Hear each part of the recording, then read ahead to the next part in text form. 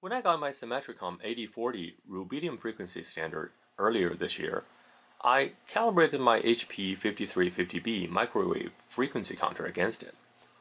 Now, nine months later, I'm actually curious to see how much the oven-controlled crystal oscillator inside the HP 5350B had drifted. Also, I have not calibrated my Racal Dana 1992 frequency counter after I fixed it a while back, so I'm going to calibrate that in this video as well. I will also include the videos for the rubidium standard teardown and the Racal Dana frequency counter repair towards the end of this video.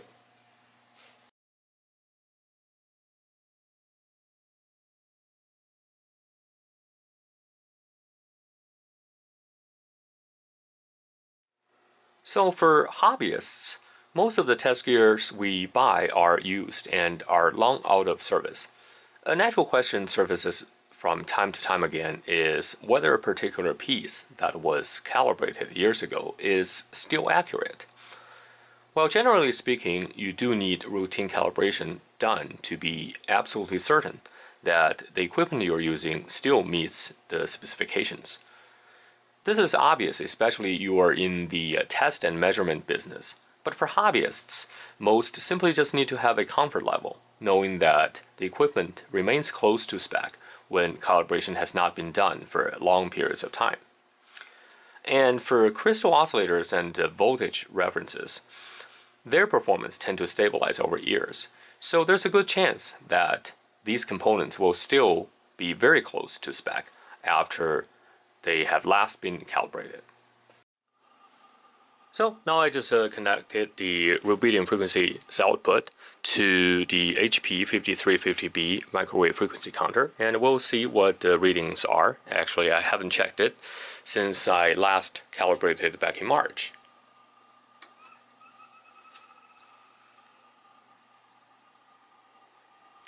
And the result is still 10 megahertz, which is actually not surprising because as well I'll show you in the uh, data sheet, you will see that the drift for the uh, crystal is only rated at uh, 10 to the minus, uh, uh, 8. Uh, sorry, this for option 001 is 10 to the minus 10.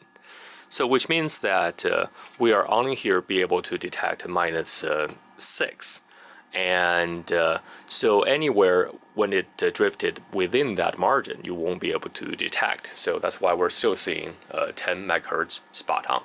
So nevertheless this shows you that once you calibrated this uh, OCXO you really don't probably need to calibrate it again for a long period of time especially for hobby use.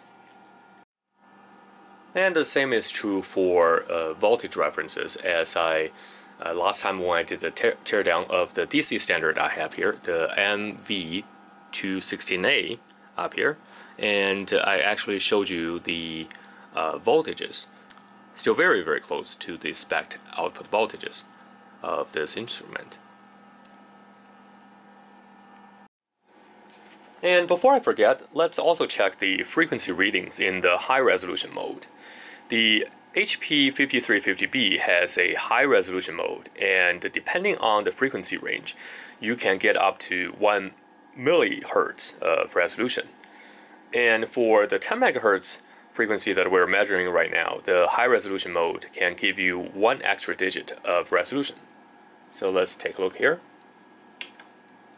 And now I just turned on the high resolution mode, and we can see that we're reading 10 megahertz. So we know that any drift that happened since our last calibration must be well within the 50 millihertz range, as we simply don't have enough resolution here to display that at that accuracy level. This again is not surprising as the OCXO's long-term accuracy and stability is at least a couple of magnitudes better than what we're able to measure here with the HP 5350B.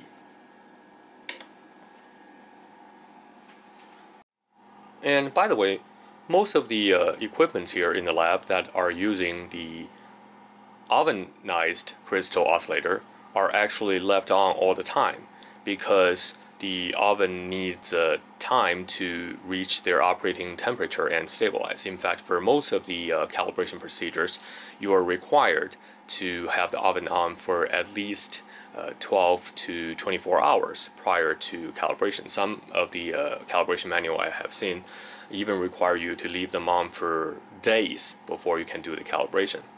And that shouldn't be a problem because uh, in the lab you typically just leave it on and once they reach their operating temperature, they don't really consume that much power.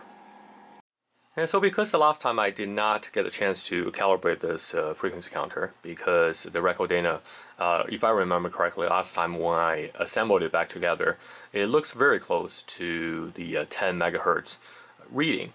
And so I did not do anything, but this time since I uh, had it out again, and I'm going to adjust it to uh, the exact 10 megahertz.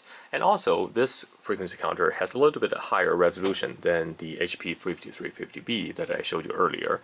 It can, um, I think it has a up to 1 millihertz resolution, so we'll see that in a bit. Nevertheless, I had left this power down for quite some time, so the oven has already got a chance to stabilize. So now let's put in the rubidium frequencies output, 10 megahertz, into the input to see what we got. Actually, this is uh, not uh, that far off. Even though it's showing uh, 17 at the end, it's actually one only 1 hertz, uh, 1.7 hertz off. But nevertheless, because we're you know doing the uh, calibration, so I'm just going to adjust it uh, anyway. So let's flip it over and see where we can do the adjustment. And here's the back of the unit, and as you can see that we still have this calibration sticker on since it was calibrated last time, which was uh, I think more than 10 years ago. But uh, we're gonna peel this off and uh, to see if we can do finer adjustment to make it at least conforming to what our rubidium standard readout is. So let's uh, peel it off and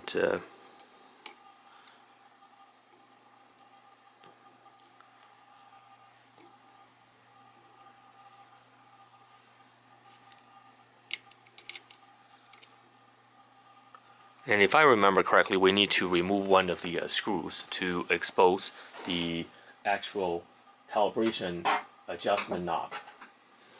So let me uh,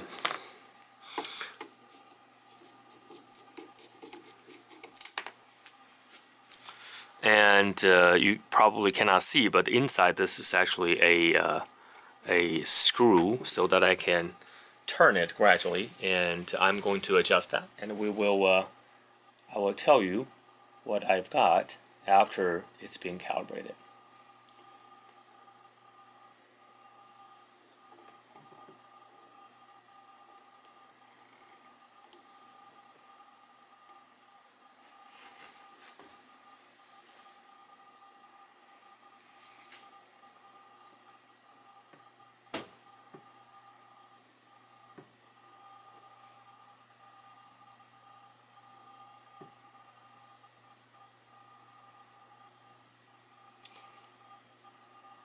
So it's actually very sensitive. So I think right now I got it to uh, be 10 megahertz spot on. So I will show you that after I flip it over. But now we can put this uh, screw back on.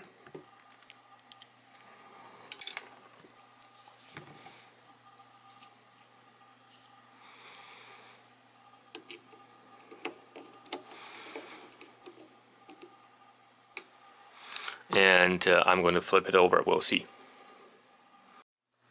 And here's the result I got. And uh, as before we were about we were actually two digits which is about one hertz uh, two hertz out. Right now give or take we're about uh, uh, 0.1 hertz uh, the uncertainty the last digit. Now this particular counter as I mentioned earlier we have about 10 millihertz resolution and we can further increase the resolution by one more digit and see what exactly the last digit is. And you can see we're about uh, 0.03 hertz off. So that's actually a very small amount. And again, a little bit of variation to the last digit is somewhat to be expected. So let's uh, change it back to the uh, the reading that we can see the 10 megahertz. And so that's about what I wanted to cover for this video. And you can see that uh, uh, if you have a OCXO controlled uh, equipment, you can be rest assured that uh, once it's calibrated, it will last for a long period of time without worrying drifting too much out of the spec. And uh, and if you do get a chance to calibrate it, then you know you should be good for a long period afterwards. So I hope you enjoyed the video and you learned something new. If you did enjoy the video, please give it a big thumbs up. And uh, do remember to check out my other videos as well. And also, as I mentioned earlier, I will include some of my earlier teardown videos in the uh, towards the end, and uh, so you can check them out as well. Again, thank you very much, and I will catch up with you next time.